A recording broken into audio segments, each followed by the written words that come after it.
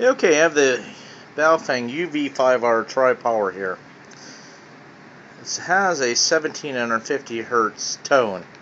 Use it a lot over in Europe, but say you have a All-Star Simplex link and you want to notify your friends to pick up and they're not really listening, so here's how you do it.